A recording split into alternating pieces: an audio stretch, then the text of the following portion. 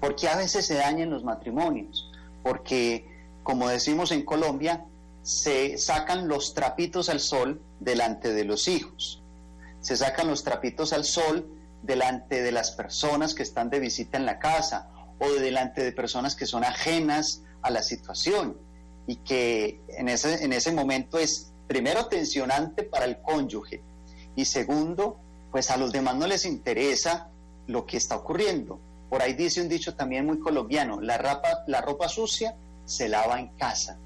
La ropa sucia se lava en casa. A nadie le interesan los problemas, las dificultades, las diferencias que son naturales o los, las inconformidades que también son propias de cualquier relación.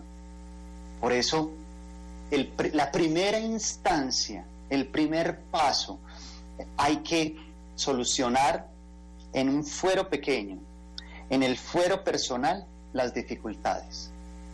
Y hay que tratar en la medida de lo posible que allí se agote ese recurso, que allí eh, ese recurso nos sirva para, para avanzar, porque los otros dos recursos que nos pone el Señor quizás lo que hace es eh, hacer que la persona se sienta atacada.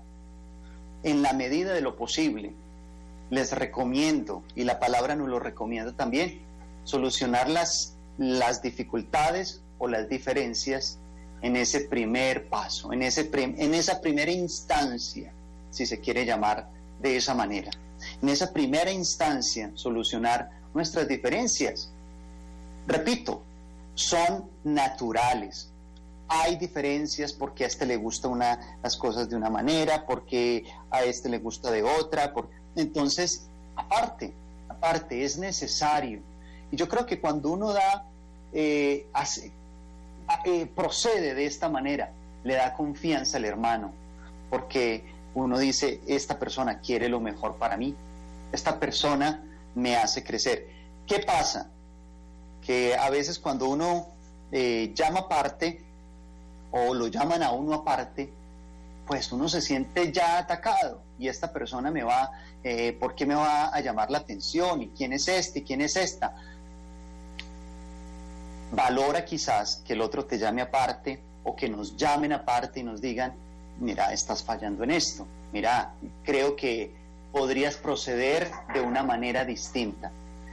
Los que son expertos en comunicación interpersonal siempre nos dicen y nos explican que uno tiene que partir de el hecho, no de la persona. Me explico. Cuando hay una dificultad, cuando hay una diferencia, uno no puede decir es que tú eres, es que tú, ya eso es un juicio, ya estás acusando, ya estás señalando. Y cuando ya uno acusa y señala, pues poco hay que hacer. Uno, la manera de hablar la manera apropiada, asertiva, la manera mejor de hablar es sobre el hecho. Me parece que actuaste mal ahí. Me parece. Y también partir de la hipótesis de, mi percepción. Me parece. Quizás a otros les parece que no. Pero a mí me parece que actuaste mal. A mí me parece que actuaste incorrecto. Si notan la diferencia en el lenguaje y en la manera de hablar.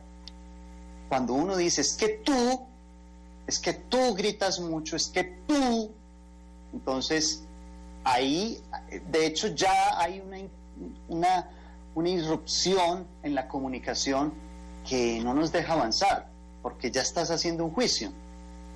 Distinto si tú dices, a mí me parece que estás hablando muy duro, a mí me parece que el tono que estás usando no es el adecuado. A mí me parece que últimamente te estás alterando por todo y estás gritando. Eso es distinto, eso es distinto, porque ya el juicio no es sobre la persona, siempre hay que rescatar la persona.